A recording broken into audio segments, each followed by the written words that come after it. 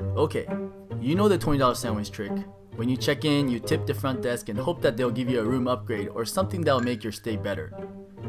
Let me tell you what happened when I tried this at the Cosmopolitan, which is one of the newest and nicest hotels in Las Vegas. But first, let's go back two weeks. There was an email sent to me for the basic Cosmopolitan City room. It's their basic room, but they were only asking for $109 per night. I've seen these rooms run from 400 to 600 a night, so there was no question to book it. By the way, if you want to get these lower rates, just join their identity membership, which is free, and I'll post the link below. So the day comes, and no matter how many times I do this tipping trick, I get a little nervous. I checked the Cosmo website in the morning to see that everything was booked for the day I was staying. That's not a good sign when you want a free upgrade. Should I still do it? I'll still give it a shot. Maybe they'll give me a coupon or at the very least they'll try to give me the best location for the basic city room, right? Still felt nervous, so I took a shower and did a few push-ups. I wore my happy looking shirt and got a nice and crisp $20 bill ready. And here I was at the Cosmopolitan of Las Vegas.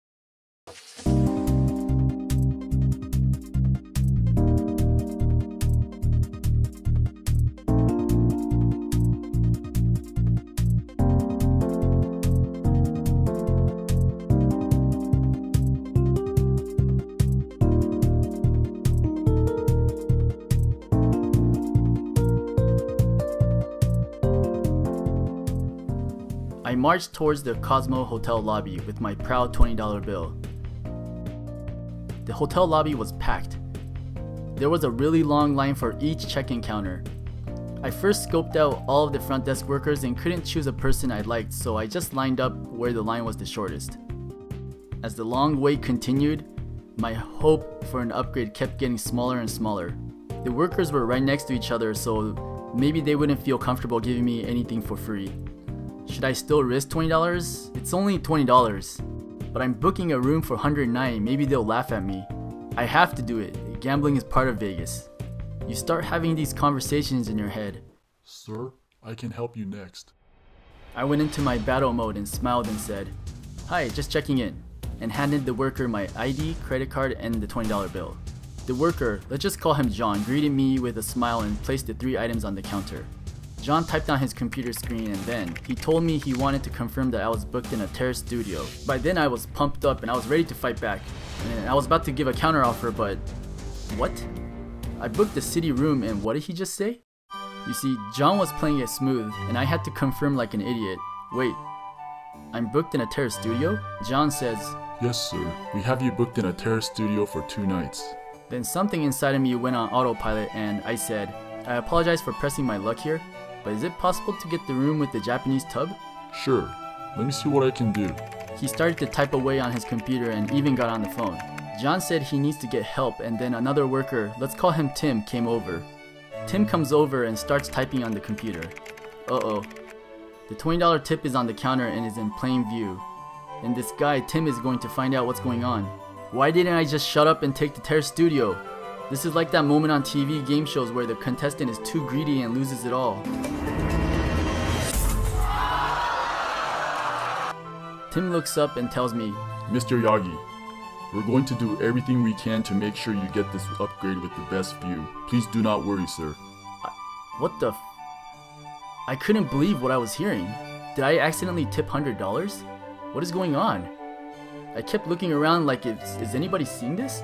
John told me they placed me in a terrace one bedroom with fountain view. Then John asked me if there's anything else they can do for me. I giggled and said, no, I think I'm totally fine. John put his hand over the 20 and asked, was this for me? I said, it's totally for you.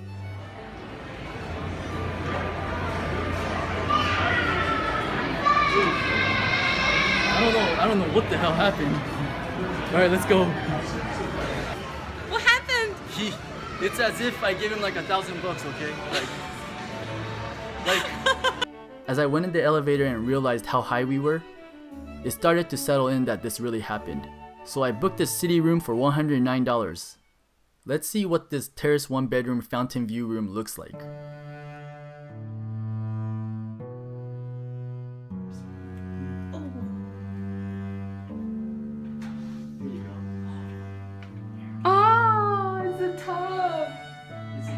Looking at the fountain. Is it the fountain? Oh! Oh my gosh. Ah! Oh! Oh my, hey, hey, hey, check. We're not Wow!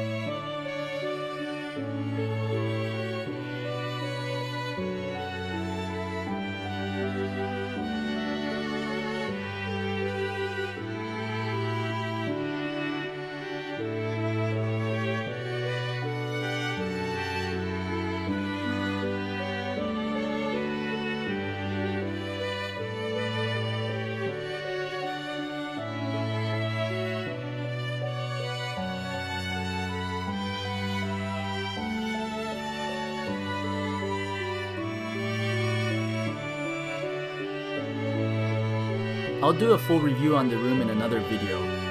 I hope you guys like this video and I'd appreciate a thumbs up. I do read and enjoy all your comments so please feel free to ask me any questions in the comment box below. And thank you for watching.